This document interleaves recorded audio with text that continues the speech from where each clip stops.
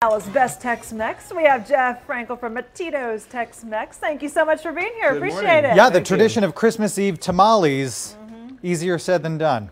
Well, we are doing the uh, chili con carne sauce today to Yeah. top them. It's uh, no tamale is complete without the con carne sauce. All right, how do we do it? All right, so basically what I've done here is we've got uh, two and a half pounds of ground beef and it's been uh, braised and, and heated and then we put in water on top of that. and We're going to be cooking that down. Okay. So while that's cooking down, Okay. then what we've done is created a roux here, which is just uh, flour and water. Okay. And the roux is ready, and so now we pour the roux. Do I in- stir yeah, while you, you you pour? stir while I do that. And you're just you're just cooking this down until the meat is cooked.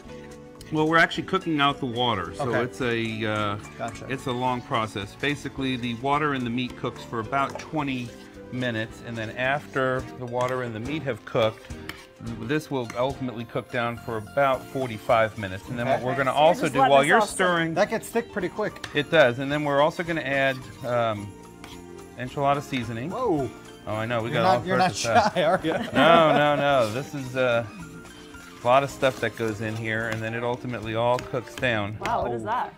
This is um, ancho chili pepper, Okay, wow. and then a little bit of salt. It's going to get loosened up here again in a second because we're going to put some tomato sauce. Okay. Actually, uh, these are pureed uh, tomatoes. So what we've done Okay. is taken the tomatoes and pureed them. Now this is a, uh based on a uh, recipe 50 years in the making. Huh? Yes, this goes way back a long time. So does every family kind of like I'm Italian, so every family has their own sauce, you know? So same kind of deal here. Exactly.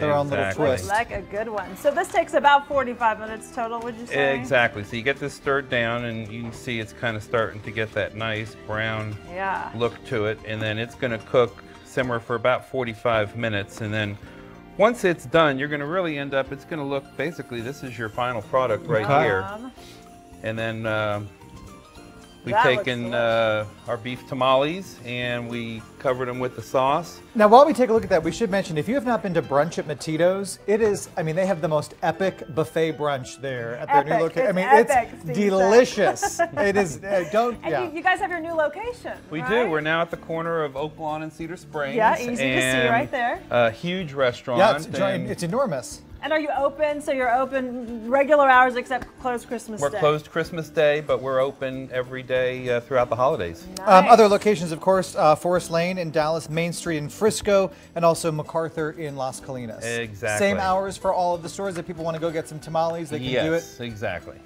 Okay, looks good. You can find this recipe and a link to Mattito's on our website. Just look on the Good Day tab and we'll be right back.